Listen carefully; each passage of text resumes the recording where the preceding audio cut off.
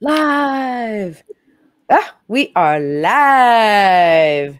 So, well, good morning, good morning, and welcome to Intercultural Spark. So, Intercultural Spark is about the spark inside each of us that drives us to spark change in the world through business and life projects. I am your host, Deanna Schaas. I'm the founder of Intercultural Talk, which is a digital, intercultural, and real life marketing agency. Today, we are excited to have on the show Amy Wu. She is an award winning journalist and documentary filmmaker, and the founder and creator of From Farms to Incubators, which tells the stories of women entrepreneurs in ag tech. So, and really exciting, we're also joined by students from the Chicago High School for Agricultural Sciences. So, we have a really exciting show today. Welcome to Intercultural Spark.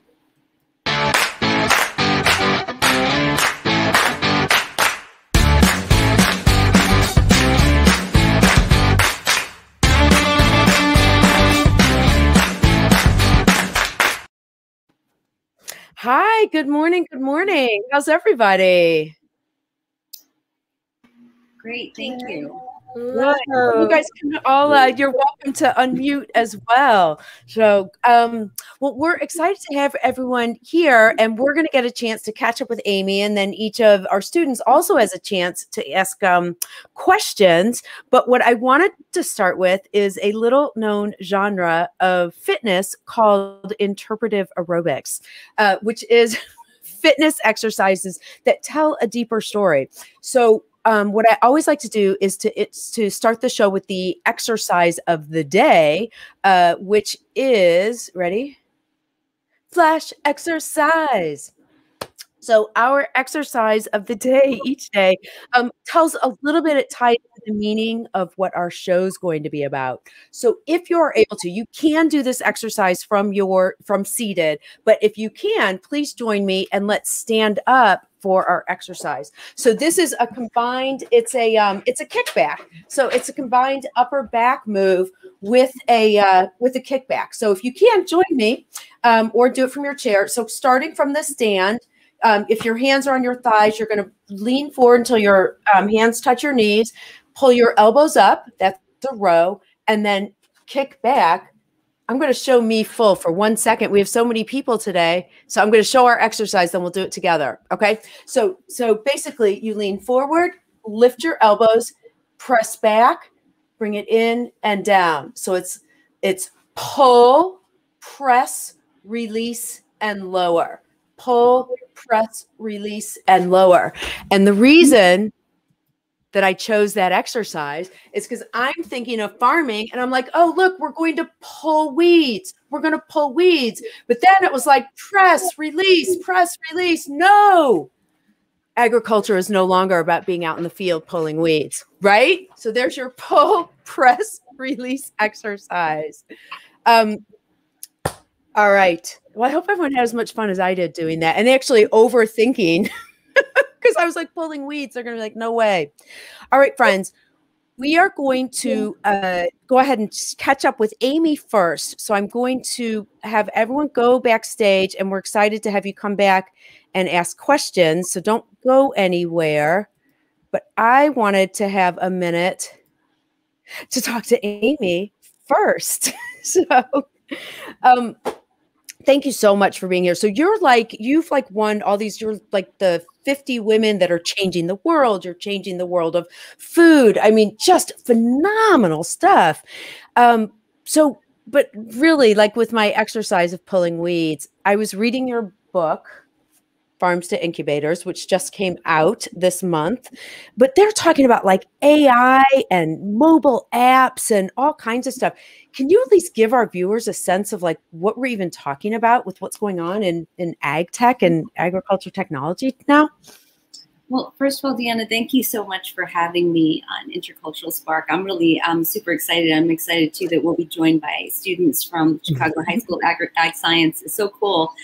Um, so, ag tech is uh, the combination of agriculture and innovation. But you mentioned, like, for example, like like artificial intelligence and, and all these cool things. So these are women, like in the book, I profile almost 30 women who are creating the innovation to help farmers, basically. So farmers are having a lot of challenges, including uh, a lot of it comes from climate change. You know, I mean, so we have, you know, lack of uh, a labor force now, water and land management issues, particularly out in, um, you know, California, where I started my research. So um, at the same time, farmers have a, a great deal of pressure to produce uh, food for what's going to be like 10 billion people by 2050 an extraordinary number of people who need to be fed in this world. So um, yeah, I chose to focus on the women creating this, and a lot of them women, um, women of color as as well. So artificial intelligence, blockchain, robotics, mm-hmm. um, automation, and then uh, sensors in the field, drones. Pretty cool stuff. Mm-hmm. I well, speak out on it myself. well, what's interesting when I started reading more about some of the work, just even with like, I don't know, like, you know, driverless tractors and mm-hmm. the things that people were doing to, to be able to anticipate and test the soil, that there's still an issue of actually even women in tech. I think that women are under uh, underrepresented. So now you've got both tech combined with farming. Uh, it's pretty amazing. And you use the phrase, you know, the question when you were talking to women, you would say, well, why would you climb this Everest? Why was it, what was the analogy for you that that was like climbing an Everest as far as being a woman, women in technology in ag tech? Well, I I use the word Everest because um, I mean, as you noted, um, Deanna, there's there's not a lot of women still at key key decision making levels, and when it comes to tech, um, and, and, includes venture capital and on mm. also on the agriculture side. Traditionally, farms are run by by men and passed down from generation to generation. So I thought it was really amazing that there was this pocket. It, it, when I say pocket, five or six years ago, it was like a handful of women that I found who were um, entering the ag and tech field through this window, this new opportunity of mm-hmm. creating mm. technology for farmers. So um, I think it's pretty cool. And a lot of these these women, um, I found out that they have a background in STEM, pretty strong backgrounds in um, science, technology, um, engineering, and math, and they all want to mm-hmm. solve big impact problems. So there's um, they have a diversity of stories. I mean, when I say Everest, I also focused on their personal stories too. Mm-hmm. I mean, one woman like drove from across the country, I think from Manhattan, New York City to California to follow her dream of launching an ag tech company and brought her whole, her whole, I was going to say company, but brought her whole family with her. So that, wow. that's an example of like being driven by a passion for something they truly believe that they can, they can, uh, they can solve, they can help. Mm-hmm. What was interesting about that too, though, is the idea of you know traditionally you think of women as nurturers, and in some cases it was the idea uh, the woman with the the red melon who was right. trying to really develop that. That really was about trying to nurturing and to make sure that there was food for the people from where she came from. Yeah, so interesting that you brought up uh, Lei Wang from mm-hmm. uh, the Red Melon Company. I mean, she's she's definitely an example where um, she she saw that the red melon could contribute to um, health and wellness and sort of food as health and wellness. And she created this technology to extract the oil from the red melon, this this amazing looking fruit that's like I don't even know how to describe it, but in the I mean it's just like a red bowling ball with lots of mm-hmm on it. actually, I hate to say it. When it was cut open and peeled, it actually looked like a brain. I thought it was. Yeah, it would be a great. That's a really good analogy. Yes, it looked like a brain, but it has. It's really high in beta carotene. Like it's got like 800 times as of a carrot.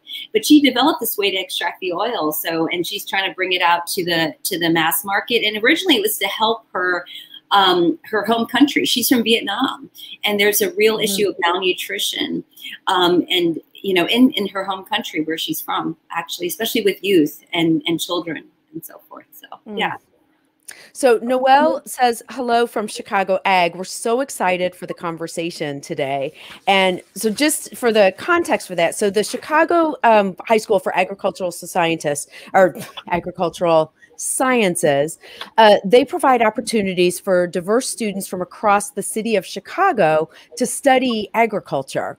So, this high school, this is a Chicago public high school that sits on 72 acres in Chicago's South Side, and it has a fully operating farm and is home to a variety of livestock which is wild. So we have so much to talk about, and the students had a chance. So this whole thing started in 2016. Amy, you got a grant. Did you know anything about ag sciences or farming before you got the grant to write about it?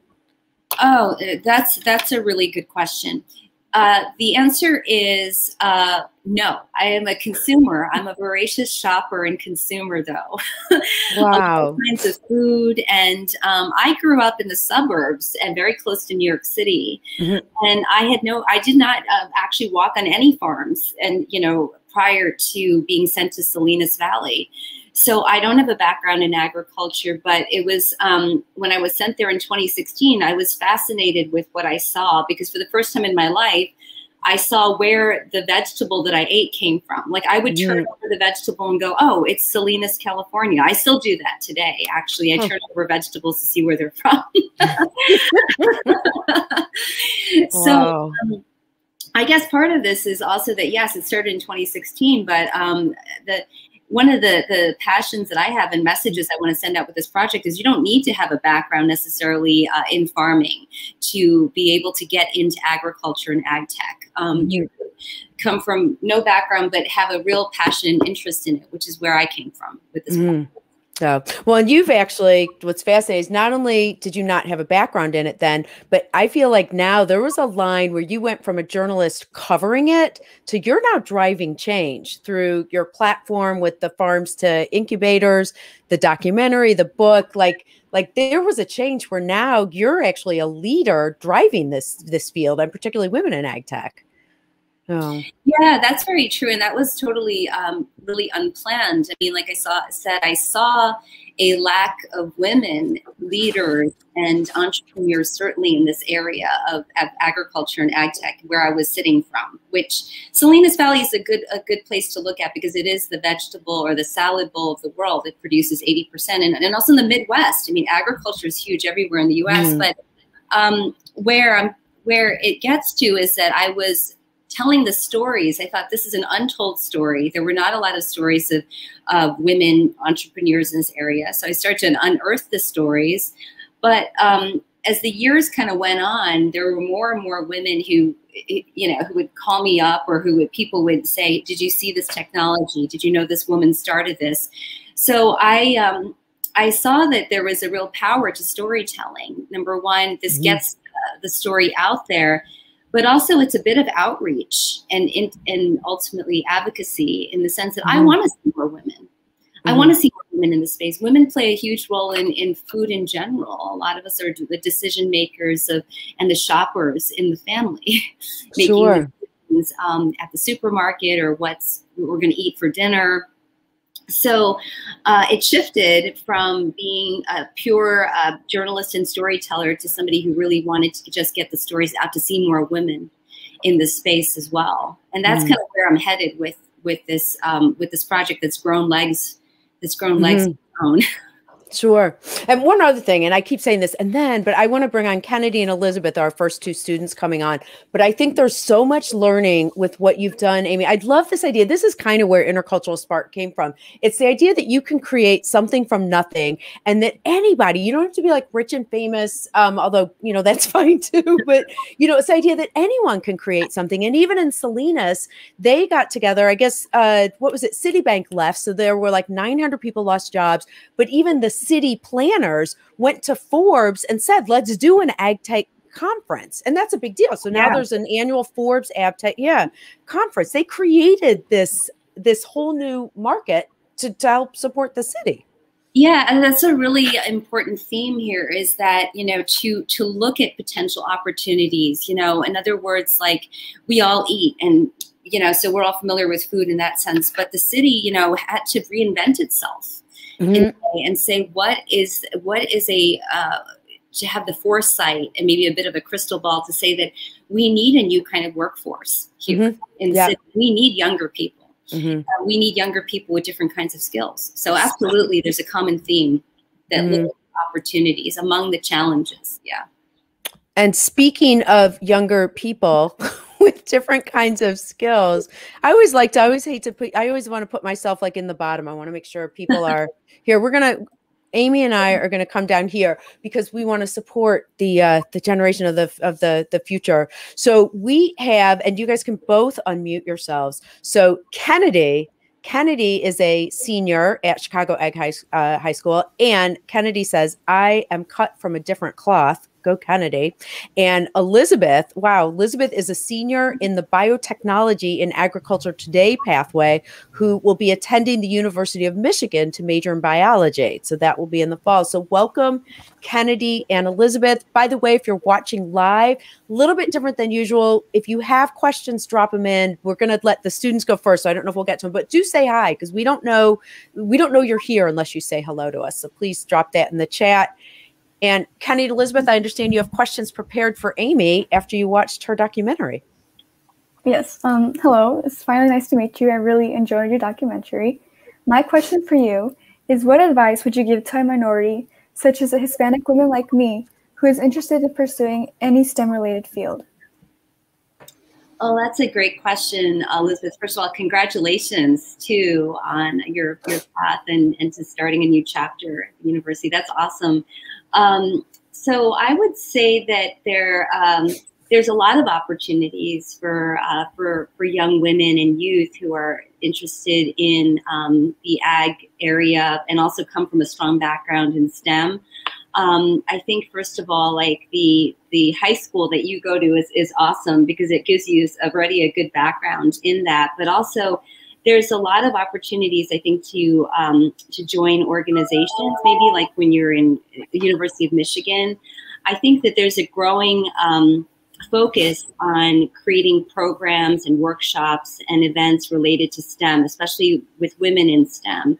Um, the industries like agriculture really seek out uh, the next generation of, of youth who can provide those skills. It's a really competitive workforce, and they're competing. the The food and farming industry is competing with a lot of other industries for talent when it comes to that area. So I don't think you're going to find a shortage of of folks, especially um, you know people already in the workforce and professionals who want to mentor um, mm-hmm. The women that I wrote about in the book, they're hungry to actually connect with younger women and mentor them. They're like, if you know of a young woman who's interested in this area, please have them call me. So I think a lot of it is networking and being connected, and it could be with your um, the pro- professor or a teacher too. Um, Wait, or here's a hint. Now you know Amy Wu, who knows every woman in ag tech. well, that is that is a hint, and what's out there um, is that part of the reason why I wanted to include mm-hmm. so many women and profile them in this book is, and I wanted to use the port the profile format, is because I wanted to make it really accessible mm-hmm. and digestible where somebody who is maybe not in ag tech could pick up the book and literally it's organized where you can go from profile to profile. Mm-hmm. I don't want to call it a Rolodex, but you could easily connect with each of the women um, through there. And like I said, almost all of them are really hungry to find ways to either mm-hmm. speak at a high school, at a college, um, have a young person who want they can mentor as well. So great mm. question. Yeah. And actually that's true. Just to say, just as people get as um as people get older, we we feel like we want to make sure like that we have something to offer. And so that's true for for all young people just to call people. If you've ever done an informational interview where it's not interviewing for a job, but you you basically interview someone to find out what their job is like. And uh, most people will if you just ask you know most people are willing to do that and it's a great way to find out more about an industry or specific jobs so, Kenny, do you have a question for us too? Mm-hmm. I do. Well, first of all, I'm so happy to be here and amongst some very powerful women. Mm-hmm. Um, and my question for you is Can you tell us about an experience where you were doubted for your abilities because you were a woman of color? Mm. How you shocked the person slash people that doubted you? Hmm.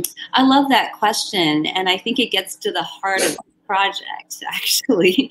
Um, in 2016, um, I answered a call out for the International Center for Journalists had a grant where they were looking for stories for minority women business owners. Um, and I and I looked around, like I said earlier, and I didn't see a lot of women at all in agriculture. So I started to ask around how many minority women entrepreneurs are there in ag tech. Um, I didn't get many uh, much response actually. In fact i think i got a lot of people who were quiet after i asked that and i kept asking that. And i thought one of the challenges in initially getting the story is that um, i am not from agriculture and i am not from um, an ag-centric area region. So you know it took a lot of persistence i think from my own end to prove to people that I am really mm. passionate about this issue. I'm not from this area. I don't come from a farming background. I don't look like your traditional, um, you know, woman in the fields. Um, but I, I'm really, I really want to tell the story. So I stuck with it and I kept asking the question and I just kept going to meetings and kept showing up and sort of one, you know, one story led to another. So, um, I would say that my own challenge was just to prove um, in the beginning that I am in this for the long run. I'm here because I really care about this issue. And I think that ultimately that really shows. And it doesn't matter what your gender is, I feel, or what you necessarily look like. I feel like people get it when somebody's really passionate about something and they stick with something. So I hope that answers a bit of your question. Mm. Cool. Well, thank you, Elizabeth and Kennedy. We're going to go ahead and say goodbye to the two of you. you. Um, you know, and I do love, I just want to emphasize that idea, Amy, of what you just said about showing up. There is something to be said for showing up consistently. How many people like actually just don't take advantage of opportunities that are there? You know, showing oh, up is, yeah, showing up is a big part of it. Absolutely. All right. So now we're going to bring on Tabitha. And let's bring on Tabitha and Kelsey. All right. Where's my friend Kelsey? All right. Tabitha and Kelsey. All right. So Tabitha is a junior in the biotechnology pathway with hopes on going into medical, into the medical research community. And Kelsey is a senior in the biotechnology and agricultural pathway, and she's going to be attending oh the University of Southern California, majoring in biology and pre medicine. And actually, just one thing as I'm mentioning, like what pathway the each of the students who are joining us. I think what do you, there's four pathways at the school. Kelsey or Tabitha, what are the four pathways that people can do at the school? There's six. Oh, there's six. Okay, and they're all just yeah. related to different aspects of of agriculture. Exactly. Yeah, they're basically like our electives. Okay. Okay. Other than then you you have your your Chicago because Chicago Public Schools, just so people who are watching know, you know, there's all the criteria that you have for basically for basic high school mm-hmm. graduation, but then there's this added layer of of uh, the agricultural sciences. So, all right, Tabitha and Kelsey, who's going first? Who's got a question? I have a question. Um, so how do you react to someone? Who does not believe that there is workplace inequality? How do I react to someone who doesn't believe in workplace um, equality, right? Yes. Um, well, I think uh, it's to continue to do the good work that we do. In other words, like, for example, I have come across folks who don't believe in it. Whether or not they say it out loud is one thing, but you kind of know where they stand with certain things. Um, and I think it's to, for example, in the area of of, um, of ag tech and women creating the innovations for um, this male dominated sector, there are certainly still uh, segments of folks who, who, who just, you know, they kind of are cynical about it or they're just used to the old way of doing things. I think it's to prove um, to prove things through your your own hard work and innovation and your passion. It's to continue on the path of doing um, doing what you believe in, and to prove. I mean, to prove to yourself mostly, and that you have something to contribute to this field no matter what background you come from like i said no matter what what gender what kind of family you come from um, whether or not you come from this background it's hard to change other people's perspectives of maybe what they already grew up believing or their own history but i, I believe in walking your own path and walking the line and being clear about where you stand with things. So in, in my own case, it was that I truly believe that these stories needed to be told. I decided to focus mm-hmm. on women and women of color, especially in the beginning so I felt strongly about that. No matter what folks would tell me, like I had, even with this recent book, I had people in the very beginning, maybe in 2018, when I first wanted to write this, I had people say that I don't think anybody's going to be interested in a book about women in ag tech. Like, who's going to pick up this book? Um, I had one one of my mentors even who um, I think they were trying to be nice about this, but they said, "Do you really want to spend all your time and your weekends writing such a kind of book that nobody's really going to pick up?" You think? And I was just like, I think I'm going to prove you wrong because I, ouch. I just had an intuition that even if you're not interested in ag tech or going into it, I think everybody's inspired by like by um, women leaders and entrepreneurs and just people who are doing really good stuff. So I myself had this feeling that um, they're not they're wrong, although I didn't tell them they're wrong, and I just decided I'm going to go forward anyway. Yeah. Yeah, that's wonderful. And Tabitha, you have a question as well. Yes, I do. Miss Wu, it is so great to finally meet you. My question to you is When faced with misogyny in the workplace, how can young women reaffirm that they belong there, and especially in agriculture? Yeah, it is a real challenge in uh, sectors where it's male dominated, like agriculture, and especially in agriculture where there's a, a good portion of the work is being done in the fields, where a lot of the production team is still is still a lot of men for you know many different reasons.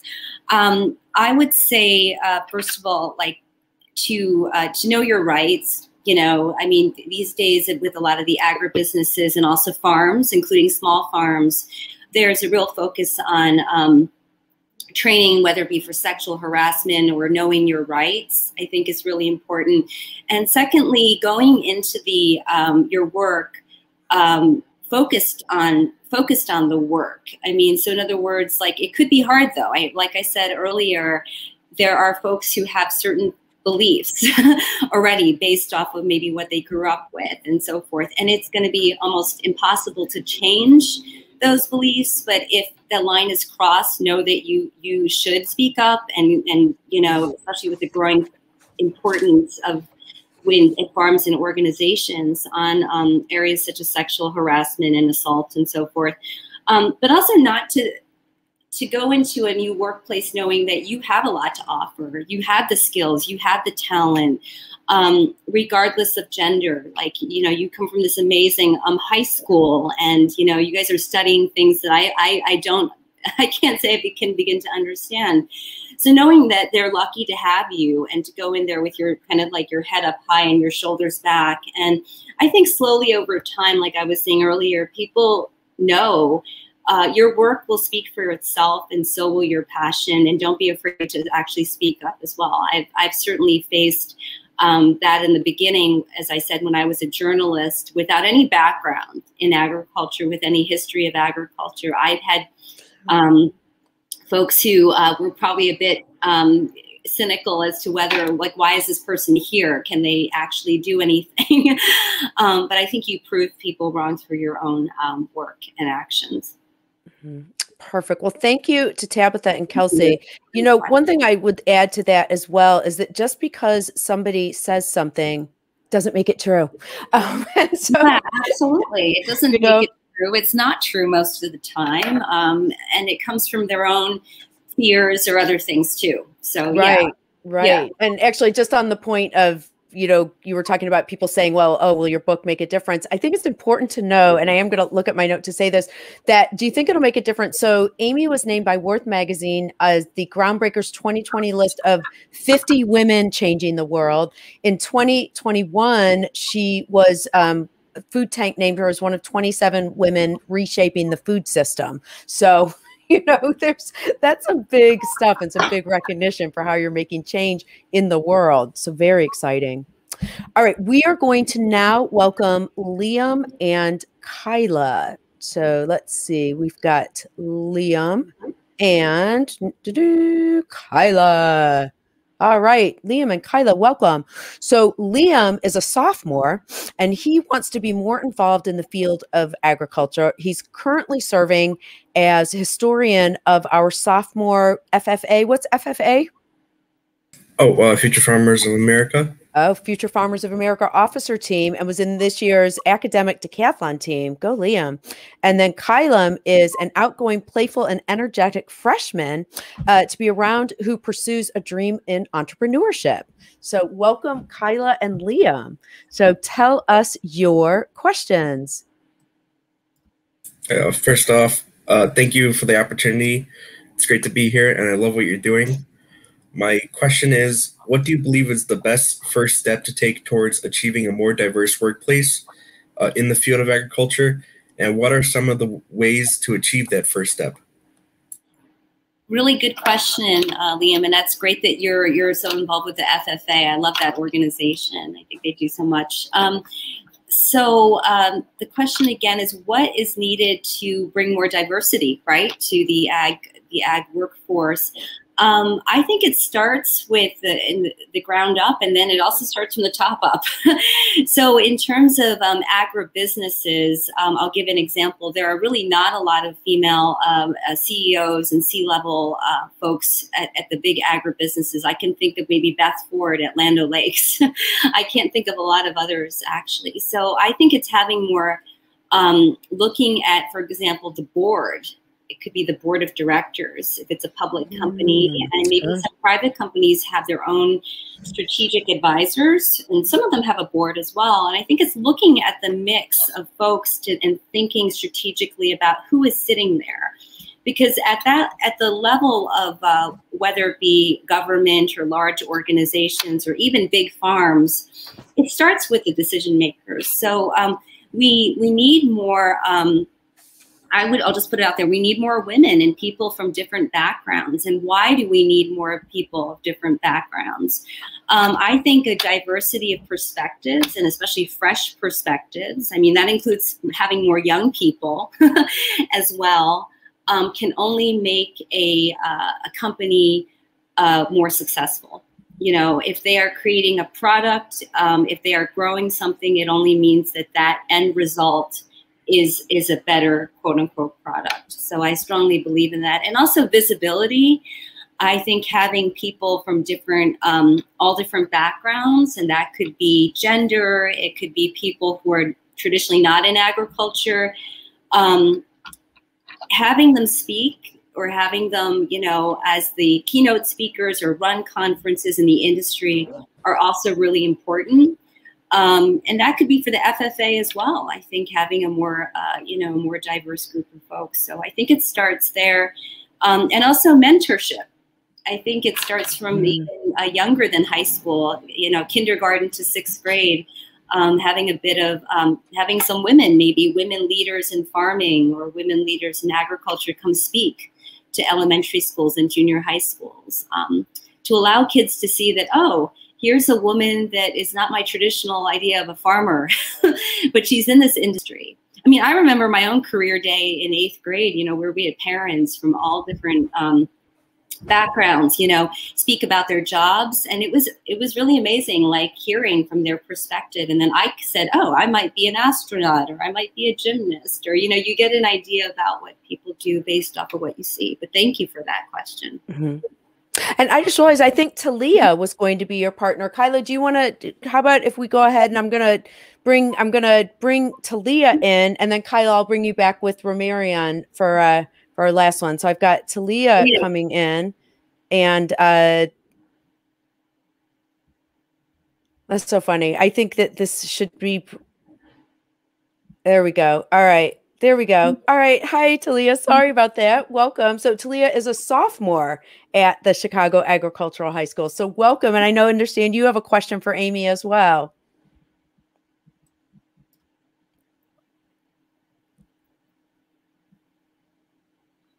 Actually, one thing while Talia is pulling off her, uh, can you find it? It should be in the kind of sort of to the bottom and to the left to take off the mute button. But Liam, one thing just along the lines of what you were talking about with all the things that you're involved in in school, I do think that any opportunity you have to to create a leadership position, like to to take leadership even as volunteer when you're in high school and when you're in college, is so important.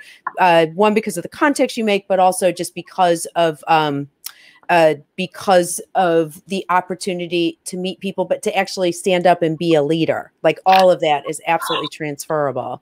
So All right, so we're going to do this then, Talia. We're going to go ahead while you're looking at, and I'm wondering even if Tabitha or someone through the private chat can help Talia get off mute.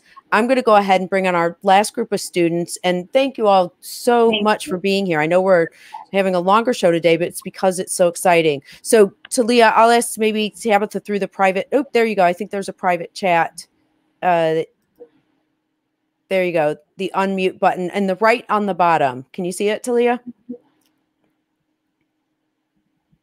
All right.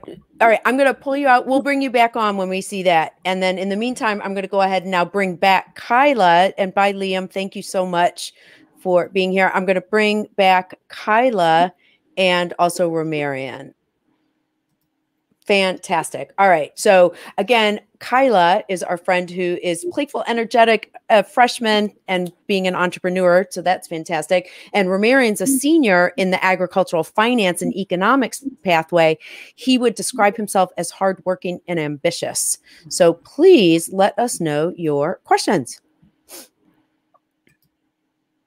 So I can go first. Um, okay. Well, thank you for giving the opportunity, of course. Mm. So the question I have is how can like my peers and I, so young adults and teenagers, what can we do that can really push like the message and the cause for and the importance of women in and, and women and diversity in general in agriculture? Hmm.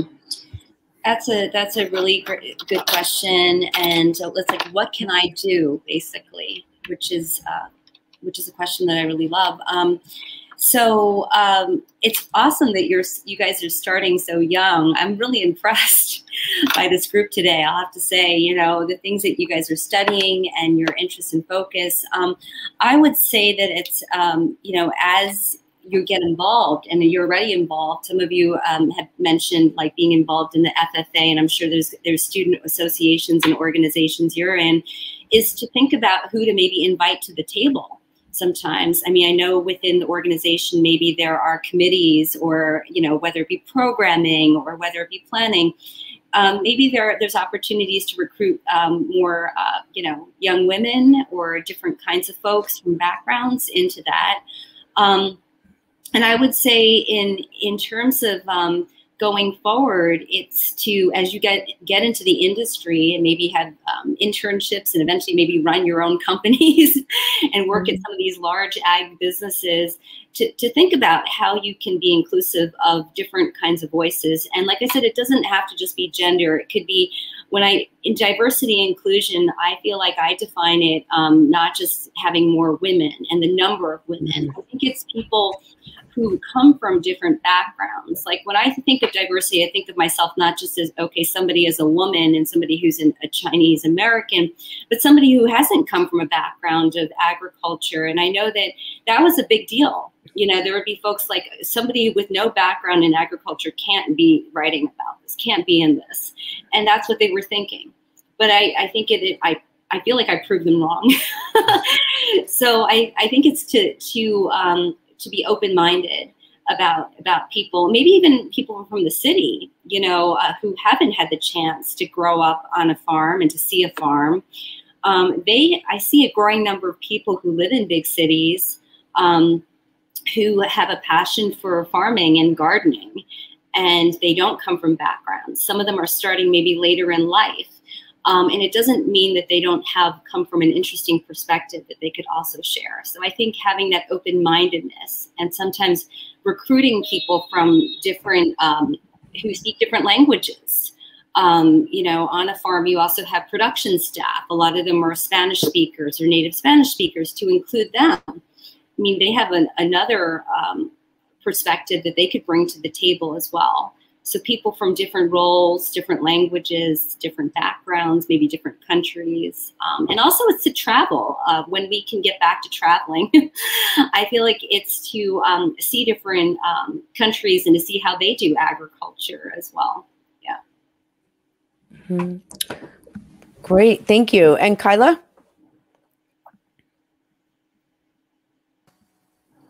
Uh, I'm really happy to be here. I'm really happy that I have the opportunity to be here. And my question for you is what are some attributes of agriculture that you feel as though some people don't pay attention to? I missed a little bit of that. Um, do you mind repeating repeating that one more time? What are some attributes of agriculture that you feel as though some people don't pay attention to? What are some attributes of agriculture?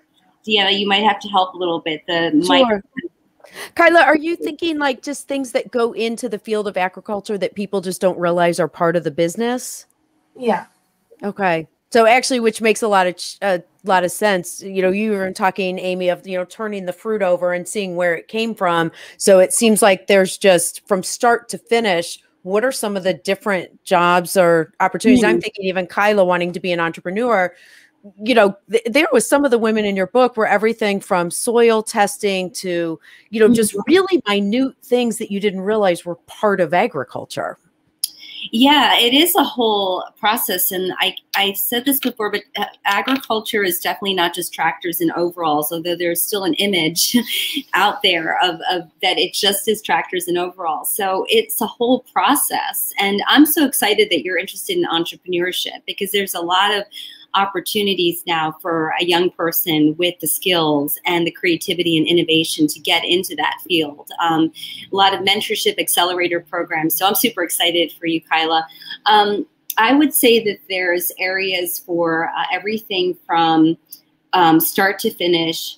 The researchers who are looking at the seeds, even, you know, what kind of seeds are we planting in the ground? What kind of seeds are one of the women, Deanna, in the book is um, is the president of Inari, and they're researching seeds that might um, be need less water. And I know that sounds kind of funny, but there are places that um, you know have a real water shortage. So, what are some seeds that might not need as much water?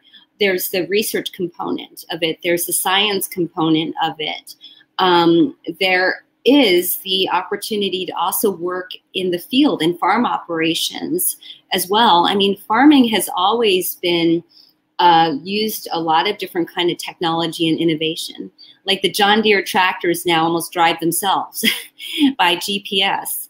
So if you're interested in, in farm operations, there's not a lot of women in that area as well, like mechanics and equipment and so forth. I would say there's a lot of chances also in marketing and in publicity and in storytelling. We need more people who can tell good stories about agriculture, um, which is something that I'm looking to develop. Um, a lot of chances to start, like I said, an act and quote unquote ag tech company now also. So um, if you're interested in starting up your own business, I would say um, that there's a there's good resources out there, Kyla, for young women, especially in that area. You know, not only resources, there's a lot of money out there for, and this for everyone. There's a lot of money out there for young people driving innovation. A couple weeks ago, I had a guest on the show. Her name's Wendy Swart, and she works with the Build Labs at Boston University. And what I found out is on college campuses across the country, they have innovation labs. There's competitions for uh, who was it? Liam who was in the the education decathlon. It's it's like decathlons but for innovative entrepreneurs. And people are are you're there's a lot of money out there because a lot of big companies know that unless they get innovation unless they get new ideas they're not going to survive. So yeah, i would that. sparked yeah you just sparked something i forgot to yeah, say. You're absolutely sure. right. One of the women in the book is uh, ellie sims with the b corps. She started her project as a like i think as a sophomore in college and she doesn't come from a background of pollinators at all or in farming. And it was an it was a need that she saw and she launched this uh, through like there was a competition. I think it was um, you know university of um, indiana and she that's you know okay. how she started her company. So absolutely, there's money, there's resources. Yeah, fantastic. And we invite you to follow up with either of us if we can connect you. Happy to connect you with, you know, what I know about that or with Amy afterwards.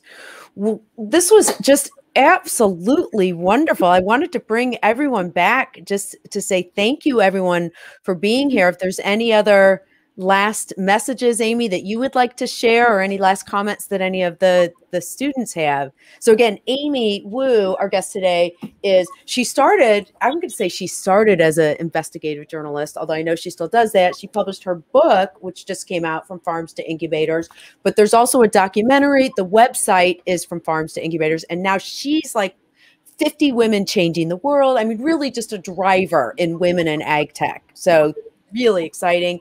And our students today are from the Chicago High School for Agricultural Sciences, who are all people who are hoping to go into the agriculture field. So really cool to be able to bring everyone uh, together.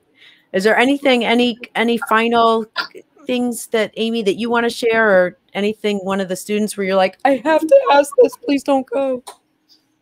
So I'm like super impressed with all these questions, and I want to say that I'm really excited um, to see so to see you all, to see that there's a next generation of young people who are so passionate about food and and farming and, and ag tech and agriculture, just the, within the food system. There's so much opportunity.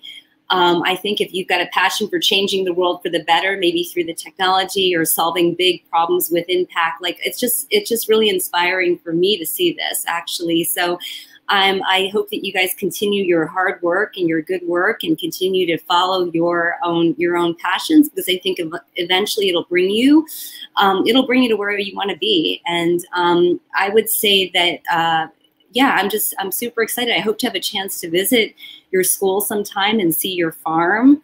Um, and some really intelligent questions today. So thank you, Deanna, for for for doing this and for for bringing on the young people today as well. Absolutely. My pleasure. I'm going to go ahead and end our live broadcast. If you don't leave, we'll be backstage for another minute if anybody wants to say goodbye to Amy. Um, thank you all so much for being here on Intercultural Spark. Next week, uh, we have our guest, uh, Scarlett. Uh, Oh my gosh. See, that's what happens when you go away on vacation the day before your show. We have an amazing uh the the Jesse Lewis Choose Love Foundation. So Scarlett Lewis, who um, is all about she has a worldwide curriculum on emotional intelligence and that her spark unfortunately was was when her son was actually uh one of the children who was shot at the uh uh at the in Connecticut in the Newtown, Connecticut shooting, and from there she has created a curriculum that now is changing the world. So Scarlett will be joining us next Thursday. Uh, thank you all so much for being here on Intercultural Spark, and we will see you next week.